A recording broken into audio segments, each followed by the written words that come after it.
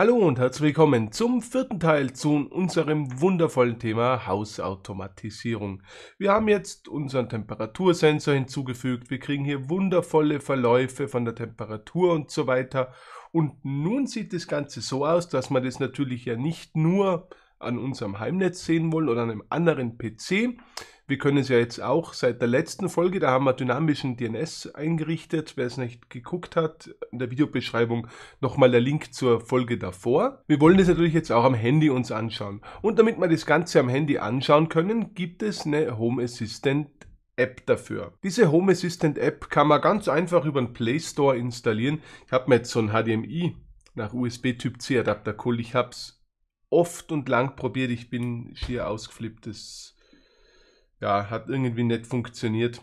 Nicht vernünftig, dass ich das aufnehme am Handy. Der war immer Ton und Video versetzt. Es gibt diese Home Assistant App, also einfach oben Home Assistant suchen im Play Store, dann kriegt es direkt diese App hier vorgeschlagen, klickt auf Install und schon wird die App heruntergeladen und installiert. Und wenn dies fertig ist, einfach die App öffnen und dann können wir schon irgendwas hinzufügen, wo wir gerne uns hin verbinden möchten. Wir geben zuerst unsere IP-Adresse ein, die wir vorher uns überlegt haben, die ihr im DynDNS eingegeben habt. In meinem Fall war das jetzt YouTube-Test. Wichtig HTTPS davor mit eingeben. Wenn wir diese Adresse eingegeben haben, wäre das die Adresse, wo das Handy von außen, wenn es außerhalb unseres Heimnetzes ist, auf unseren Home Assistant zugreifen würde. Wir müssen nun noch unseren Benutzernamen und das Passwort eingeben und bestätigen das Ganze mit Next. Jetzt versucht er sich anzumelden. Er fragt euch jetzt noch, ob ihr Permissions geben wollt, also Rechte geben wollt, um GPS und so freizugeben. Das könnt ihr dann mal später machen. Ich überspringe sie nämlich rechts unten auf Finish klicke. Da geht es darum, dass das Handy zum Beispiel erkennen würde, die App erkennen würde, ihr fahrt gerade von der Arbeit los schalt schon mal die Kaffeemaschine daheim ein oder sowas. Wir überspringen es, ich klicke einfach auf Finish. Und wie man jetzt wundervoll erkennen kann, wir haben sowohl auf der Handy-App hier,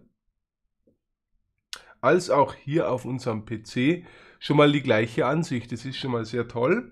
Was jetzt allerdings passiert, er greift permanent über diese dynamische DNS, also über das Internet auf Home Assistant zu. Das wollen wir natürlich nicht. Deswegen gehen wir jetzt ganz zuerst mal auf die Einstellungen. Wir klicken da links oben auf die drei Striche, kriegen dann die Einstellungen, gehen auf App Configuration ganz unten, das dritte von unten. Und nun gibt es diese Home Assistant URL hier oben, die wir eingestellt haben.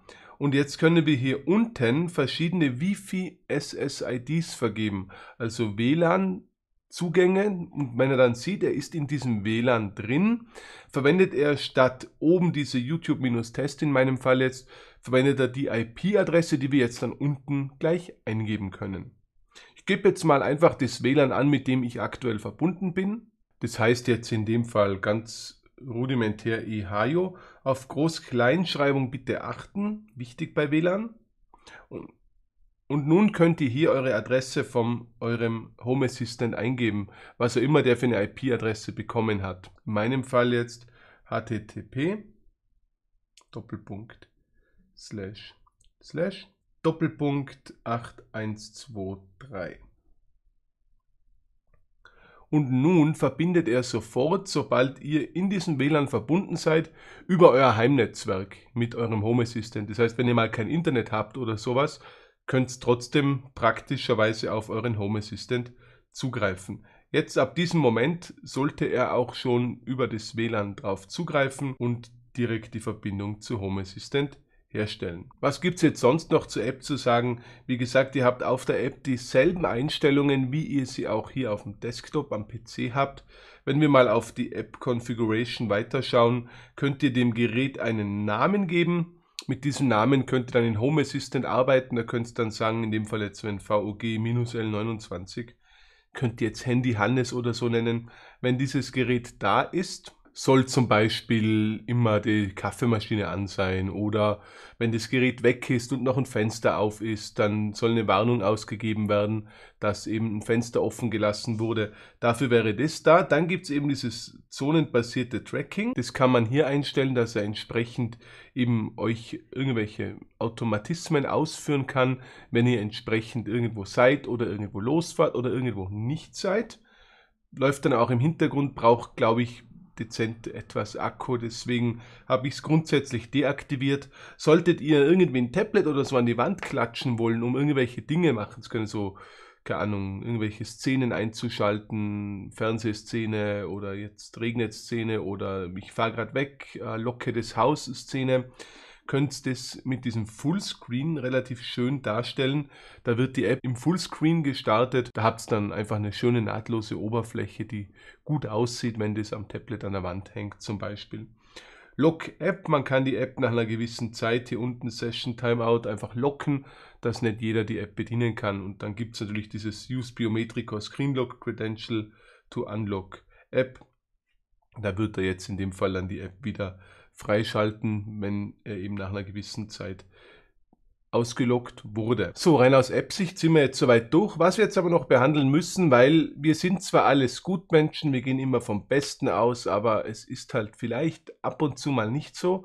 Wir haben unsere Benutzeroberfläche, die wir momentan noch unverschlüsselt von unserem Heimnetz aus betreiben, HTTP, Port 8123 rein Text wird da übertragen. Also da kann es sein, dass jemand unser Passwort mitliest, wenn er im Netzwerk hängt. Und gerade beim WLAN hätte ich da jetzt ein bisschen Bedenken. Deswegen not secure. Da schauen wir uns das Ganze jetzt nochmal schnell an und konfigurieren das Ganze so, dass wir auch da auf der sicheren Seite sind. Wir gehen also auf unseren Supervisor, gehen auf unser Nginx Plugin, das wir installiert hatten und wählen dort oben die Konfiguration aus. Aktuell Nginx geht auf diese dünn DNS-Domain, die wir eingetragen haben, youtubetest.ddns.net, die ihr halt euch selber ausgewählt habt. Und da geben wir jetzt noch eine zweite Adresse dazu, Komma, in dem Fall die Adresse, die wir oben von unserer Fritzbox kriegen, die IP-Adresse, die euer DHCP-Server euch gibt. In dem Fall 172.16.15.167. Wir speichern das Ganze und fragt uns jetzt noch, ob wir das Add-on neu starten wollen. Müssen wir, sonst funktioniert es nicht. Sobald das Add-on neu gestartet wurde, sieht man in den Logs drin, Running Engines, das geht sehr schnell, können wir hier oben HTTPS, dann die IP-Adresse und dann nicht mehr 8123, sondern einfach so wie es jetzt da steht, HTTPS, eure IP-Adresse vom Home Assistant und dann seid ihr eigentlich schon drin. Ihr müsst noch kurz hier bestätigen, es ist halt kein zertifiziertes Zertifikat. Man muss halt einmal sagen, ja, okay, ich will trotzdem damit verbinden, ich weiß, was ich tue. Und dann können wir uns wieder hier mit unseren Zugangsdaten ganz normal einloggen. Sind jetzt hier zwar mit einem roten Schloss, weil es eben kein zertifiziertes, kein richtig gültig, bla, Geldkostenzertifikat ist, sondern ein normales, selbst ausgestelltes Zertifikat ist. Aber die Verbindung ist jetzt verschlüsselt. Man braucht da jetzt auch keine Angst mehr haben, dass man abgehört wird, beziehungsweise dass das Passwort ausgespäht werden könnte, wenn man im internen Hausnetz unterwegs ist. Diese Adresse stellen wir dann natürlich auch bei der App richtig ein, also bitte dann auch jetzt bei der App von HTTP und hinten Doppelpunkt 8123 auf HTTPS umstellen ja, das war's soweit. Das waren jetzt eigentlich so die wichtigsten Punkte, die ich so auflisten wollte für euch. Gerade Sicherheit, Verschlüsselung ist nicht unkritisch. Das nächste Mal gehen wir dann, wir sind jetzt mit Schwendau fertig, das kann ich jetzt quasi noch fertig konfigurieren und dann ausliefern, das System. Wir gehen dann mit meinem EHIO Home Assistant weiter, schauen uns mal Szenen an, schauen uns mal Automatisierungen an wenn ihr irgendwelche Fragen habt dazu, einfach in die Kommentare reinschreiben. Ich versuche das dann zu beantworten. Ansonsten vielen, vielen Dank fürs Reinschauen. Vielen Dank für die Abos, die ihr mir auch brav hier lässt. Und wir sehen uns dann beim nächsten Video wieder zum Thema Hausautomatisierung. Bis bald. Danke.